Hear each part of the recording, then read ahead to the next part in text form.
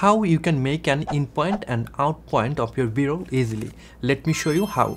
So here if i want to make an in point of this clip i can simply click this to open it on the source monitor. I can make an in point and out point that is the traditional way. You can simply go here on your project panel and then you can scroll to see the clips right? So if you want to make an in point just press i on your keyboard here on this point and if you want to make an out point you can just click here to make an out point. It will make in point and out point on that project panel. Now you can simply click and drag the clip to import it on your timeline. Again if i show you i want to make an in point of this clip here and then out point here.